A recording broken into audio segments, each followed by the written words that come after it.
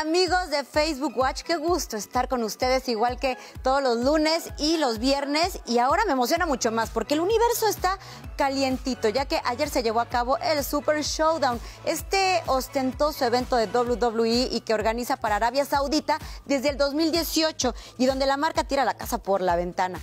El lunes se anunció una lucha por el trofeo Tuwaik, claramente un tributo a la montaña Tuwaik, uno de los paisajes más característicos del reino de Arabia Saudita, y sería una especie de gauntlet match entre varios luchadores.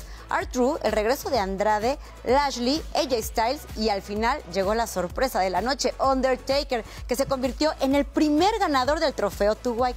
Otros títulos que también estuvieron en juego, como el campeonato de parejas de SmackDown, donde los retadores de Miss y Morrison se convirtieron en los nuevos campeones, eh, quitándole el título a los New Day.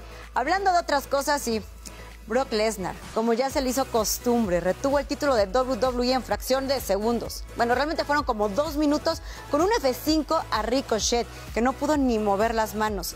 También pudimos ver la primera defensa de un título femenil en Arabia Saudita entre Bailey y Naomi, de quien podríamos decir es la primera afroamericana en luchar en Arabia Saudita, haciendo historia y donde Bailey retuvo el título. Y para finalizar, Goldberg es el nuevo campeón universal, arrebatándole el título a The Finn.